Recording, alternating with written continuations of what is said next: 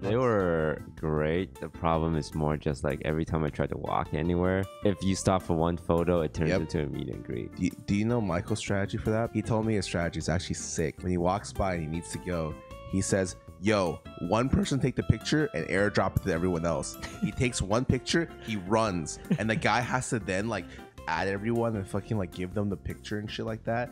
And so it's up that guy gets swarmed as Michael just did. So he uses substitution jutsu. Yes, essentially. Wait, like a picture of just himself? It's like him with everyone else, and they have to get the picture from that one guy who's Oh. that one guy, and he just runs. Group picture, like a giant group picture. That's a perfect table turn. Yeah, that's he's actually a genius.